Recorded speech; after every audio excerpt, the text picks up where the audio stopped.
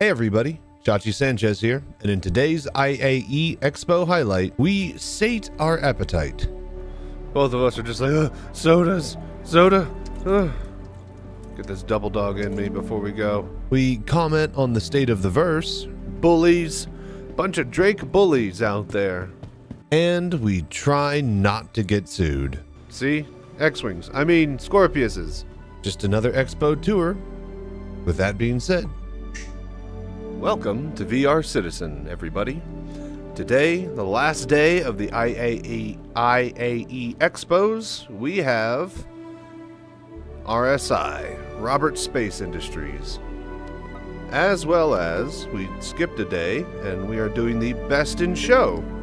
So we're going to check out both of those halls. And then, uh, yeah, that'll be capping off this year's IAE Expos. Next time we'll be doing this is when we head over to, uh, what you call it? Uh, the military shows for Fleet Week. So, and then last and final reminder be sure to drop by the stream for Christmas. Watch, lurk, support, get channel points. You're going to want to get in on the giveaway. We will have links to the giveaway itself down below as the, we put highlights out for December. But the giveaway is going to be an LTI Suyin. It's going to be this Drake trucker hat that I got from CitizenCon.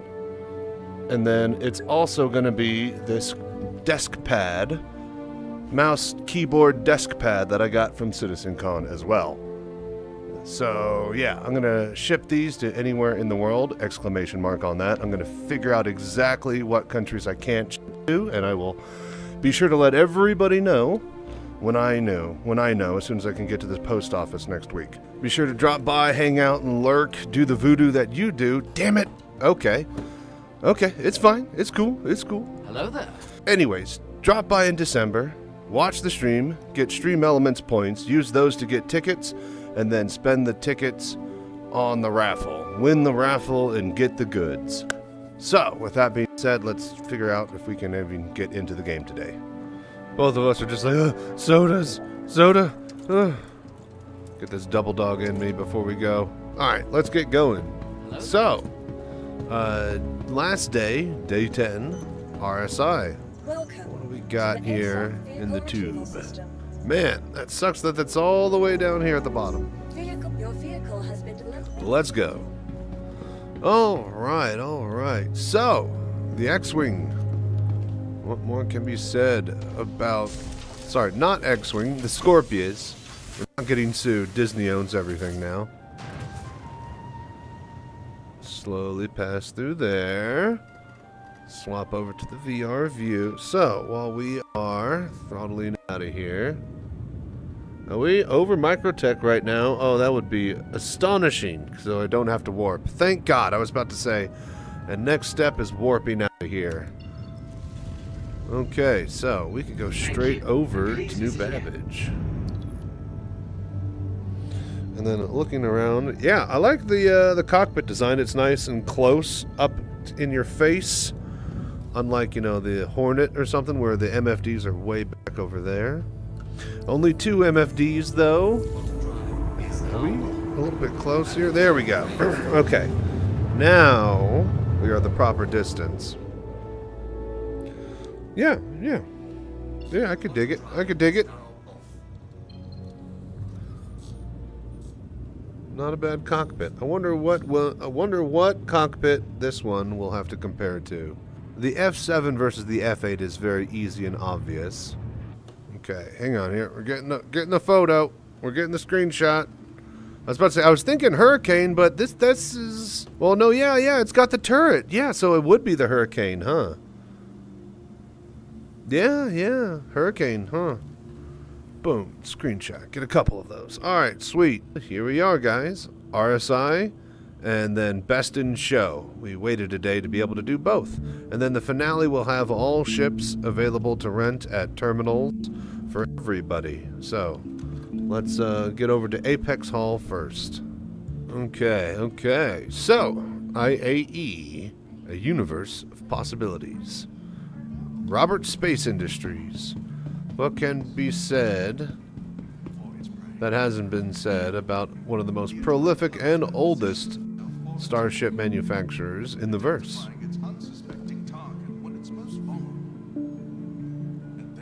Uh, here's the Scorpius. Go, Jimmy. Get him. Solid interdictor, able to pull ships and hold them. So, yeah, catch, hold, enforce. I love how they were doing it to a Drake ship. Bullies! Bunch of Drake bullies out there. We got a lot to. Oh my. Damn! This is just all freaking hollow units in there? Jesus. Alright, so we have the, I guess, Mantis. Uh, and then the man. Why is the Mantis in two places? Interesting. Uh, we have all of the constellations surrounding the Mantis and the Scorpius Antares and Scorpius itself. Um, uh, yeah. About that Antares, huh? On the right, we have all of the Auroras surrounding another Mantis. Not sure why they're doing that. We'll find out if they're any different. And down here, we got the Rover and the Lynx, and then the Apollo Triage, the Polaris, the Ara Arrastra, Galaxy, Zeus, and Perseus. It's a lot of capital ships. So yeah, let's get going. Hey, what's up, Nomad? How you doing, buddy? Alright, alright, we're gonna be blasting through these. But the Starfarer and Drum okay.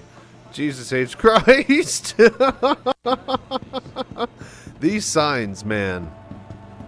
Does that also say the Starfarer Taurus? Okay, so the Constellation series, also known as, I guess, the Starfarers, Jesus. Uh, this one is medium freight gunship. Right, right. A little bit more beefy on the weaponry. It's got a bigger cargo pad. We come over to the Aquila. This one, I believe, is the military platform. Nope, Expedition. Always get these wrong. It's got advanced sensor suites and stuff and equipment on the inside. I believe that, yeah, it's got the rounded, um, uh, what do you call it? Cockpit window versus the more angular series. Uh, you have your Phoenix, which inside is luxury. It's meant to carry people around back and forth. This will be the one that I do go into and show off. Alright, so through the crew quarters, you got your luxury quarters. So there's a nice bed, fish tank, another bed, another fish tank, uh, seats that you can't actually head track in, I don't think. It's decent head tracking. I think, actually, that's a lot better than I remember it. I think these are the ones. Yeah, that's a little bit more limited. Like, I can't see out the window or look all the way left and right like I can in a cockpit. So they'll need to work on seats to, um, uh, you know, get those a little bit better to have us head tracking folks look around. Meanwhile, comes with a full bar. Get yourself a drink. Warning, drinks do not work. Alright, and then here is the cockpit layout of the Connie series. It's got up and down turrets, I believe. Right, that's two seats. Pretty sure you can get, yeah, yeah, upper turret, lower turret. So it's supposed to be like a Millennium Falcon.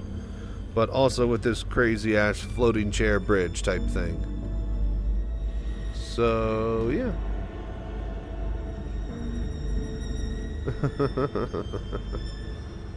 Big ol' MFDs on there. Also struts for those that um, uh, have an issue with them.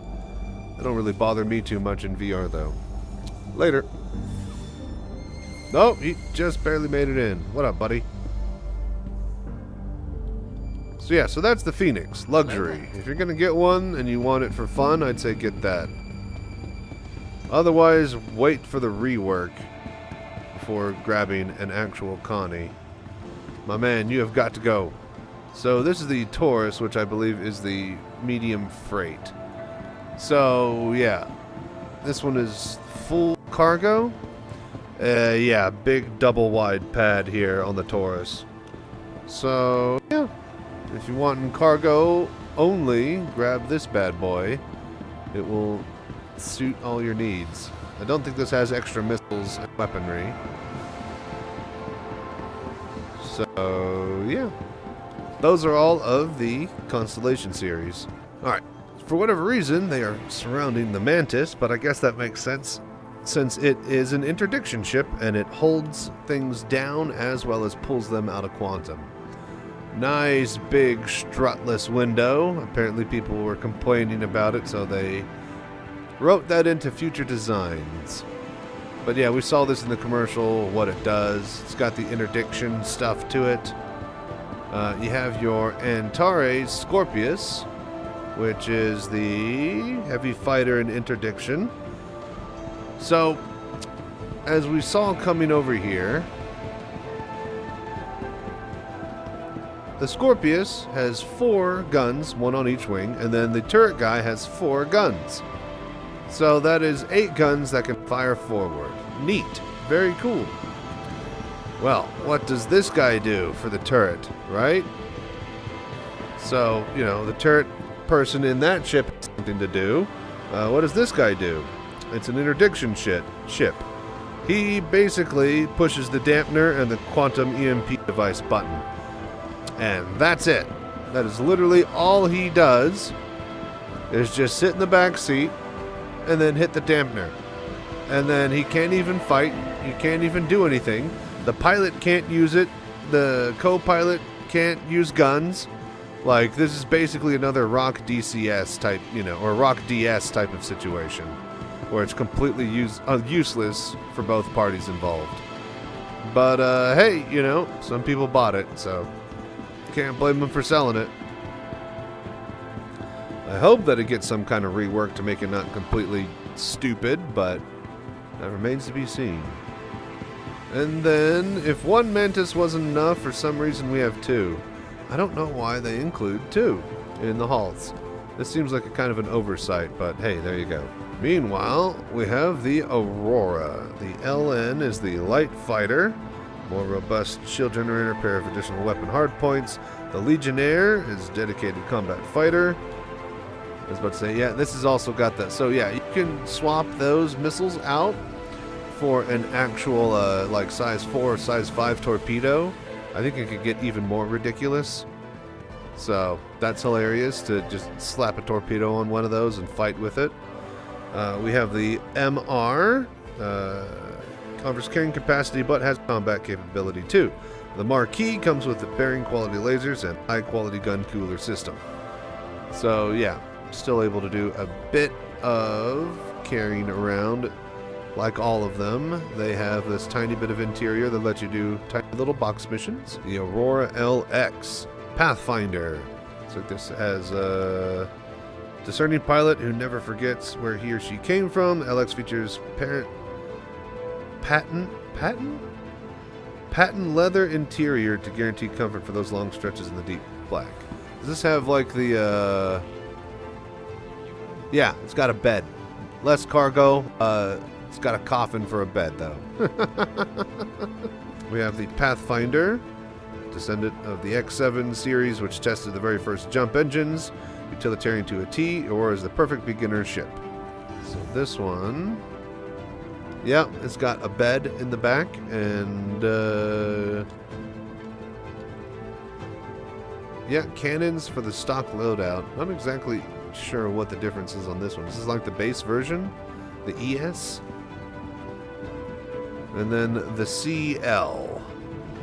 Uh, light freight, customized for mercantile and trading excursions. The Clipper, perfect vessel for aspiring entrepreneurs and seasoned traders alike. So, power plant for more cargo room. I think it can fit like an SCU down below. Yeah, yeah, yeah. It's got cargo grid down below that can carry stuff. So, easy enough. Those are the Auroras, baby. Let's get to the hollow halls here. Know how they're going to cram all of these in here or how big they're going to be. Okay, so yeah. Starting off with the Perseus. So, this is the gunship. RSI set out to make the definitive modern statement uh, in persuasive prevention. They looked into their own past to the historic gunships designated Perseus. Capable of shredding subcapital class Goliaths, the mere presence of a Perseus gunship in a blockade patrol squad is enough to make your most aggressive enemies think twice before engaging. just like its vintage namesake. So yeah, it's got big guns. Uh, it's got big guns, uh, and then it's got more big guns, and I believe torpedoes, possibly torpedoes. I think. I think those are torpedoes. I'm not a big RSI guy. Don't know too much about everything, but however, we do know about the Mark II. This is basically a rebuilt version of the Mark One, uh, or you know, the the the Mark One was the original ship that had a civilian jump drive that allowed people to explore the stars back in like the 22nd century in the game lore. Uh, RSI is one of the oldest game or oldest uh, ship making companies in the verse. So uh, with that said, uh, yeah, paying homage to the classic design that launched humanity to the stars in 2140. Zeus Mark II has been updated to exceed modern standards while retaining the heart of this beloved spacefaring icon. So, basically, a modern version of that ship. All the modern amenities and stuff that you would want and need, but on the frame of that old awesome ship. Next, I believe this is the Galaxy. Yep, yep, yep. Fully modular, fully modular design and an onboard hangar capable of deploying small ships. Cutting Edge Galaxy is versatility built into its DNA with highly configurable main cabin that can be outfitted with comprehensible facilities to swap for cargo, medical, or refining operations. So yeah, Galaxy is kind of jack of all trade with a, you know, fighter bay on it. Very, very cool and fun. This bad boy is the Arrastra.